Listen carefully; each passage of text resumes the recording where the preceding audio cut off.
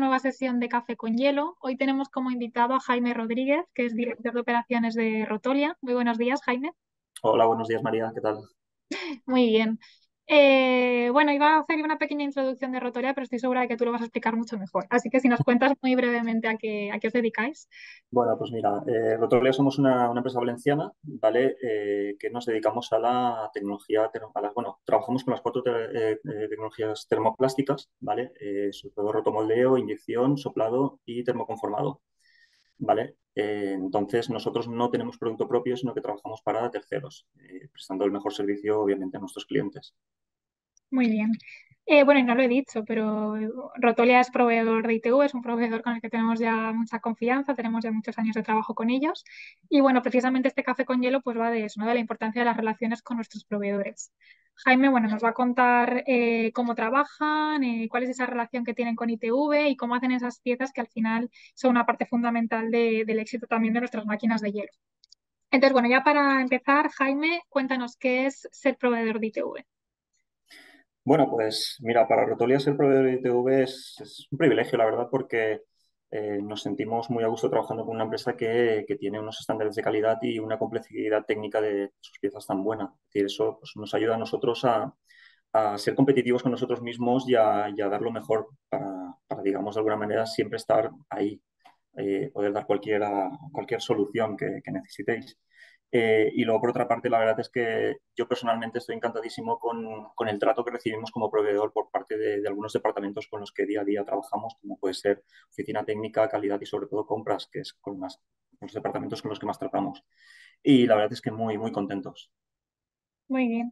Eh, ya para entrar un poco más en materia, eh, ¿cómo garantizáis la calidad de las piezas que suministráis y sobre todo cómo se alinean con los estándares de calidad ITV? Es decir, ¿contáis con, ¿contáis con algún sistema de control de calidad específico? Sí, a ver, nosotros en Rotolia estamos certificados con, con ISO 9001 y 14001 de medio ambiente, ¿vale? Y bueno, y no solo eso, eh, aparte que tenemos todas estas certificaciones y todos nuestros registros y estándares están, digamos, eh, siguen esta base de, de, la norma ISO, eh, siempre intentamos eh, tener un control, un contacto directo con los departamentos de calidad de nuestros clientes, ¿vale?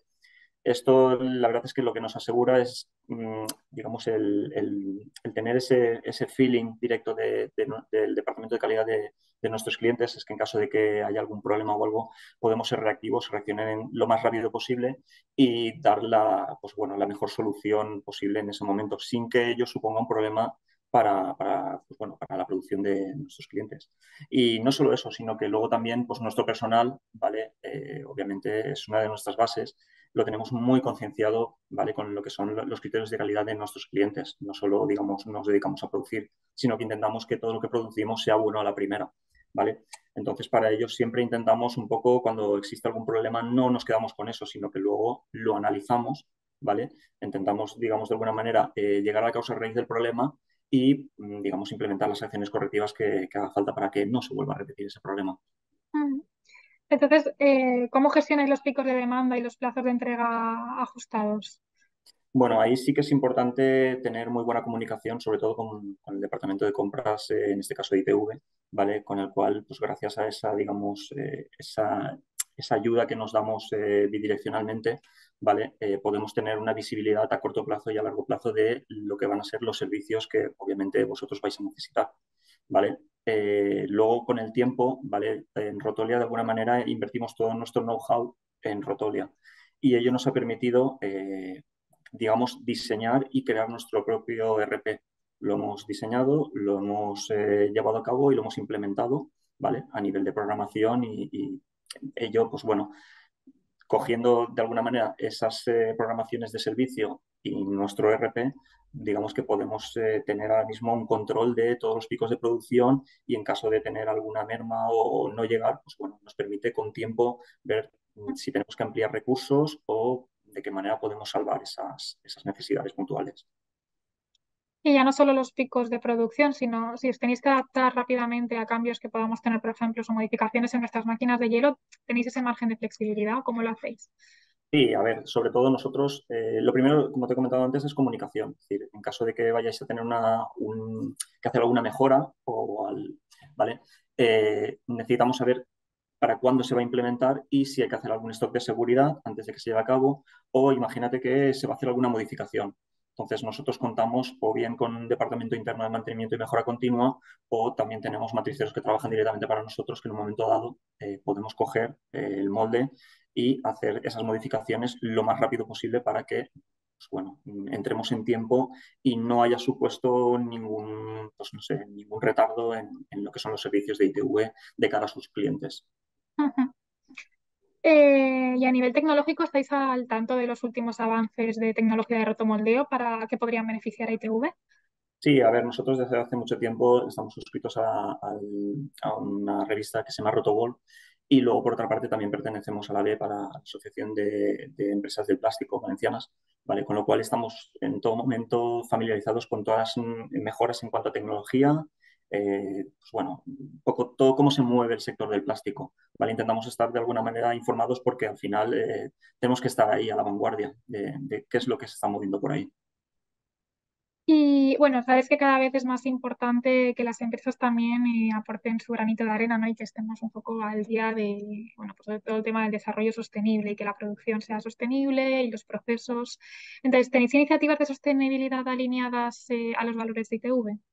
Sí, a ver, eh, partiendo de la base de que ya de, primeras eh, contamos con la ISO 14001, que es respecto al medio ambiente, y por otra parte, como padre, vale, de un hijo pequeño, pues muchas veces piensas en qué mundo les estamos dejando. Entonces, eh, esto es algo que está alineado con la dirección de, de Rotolia y constantemente mm, trabajamos conjuntamente con algunos clientes pues, para pues, asesorarlos o ayudarlos en algunos temas como reducción de packaging, eh, diseños, o sea, el ecodiseño, economía circular. Y ya no solo eso, sino que luego utilizamos nuestras propias tecnologías para realizar, digamos, pues, pruebas eh, internas eh, que obviamente pues en algunas, algunos clientes que se dedican a, la creación de productos de diseño eh, que en este caso no son funcionales, pues podemos de alguna manera pues, implementar eh, algunas materias de postconsumo eh, o, procedentes de océanos, es decir, redes marinas, etcétera. Es decir, de alguna manera lo que intentamos es que darle una segunda vida a esa, a esa materia que hoy en día pues, va flotando por los océanos y no sabemos qué hacer con ella. Entonces hemos llegado de alguna manera a poder implementarlo en algunos productos de diseño con gran aceptación por parte de, de muchos de nuestros clientes y obviamente clientes de nuestros clientes. Es, una de las cosas que cada vez nos exigen más, entiendo también. Sí, hoy en día la verdad es que está, está en auge el tema de, bueno, de qué hacemos con, todos los desperdicios. Es decir, pues obviamente nosotros hemos pensado de alguna manera en, oye, vamos a poner nuestro granito de arena y vamos a ver de qué manera podemos pues darle una segunda vida a todo esto.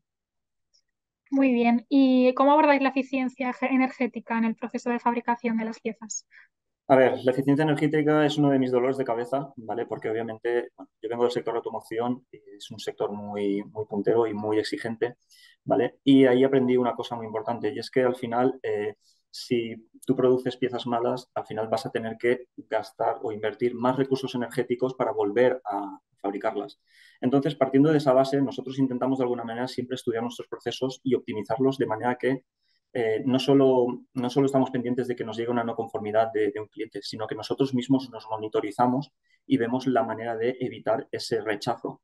Es decir, obviamente aquí todos estamos muy concienciados en que un rechazo bajo va a ser una menor inversión de, consumo.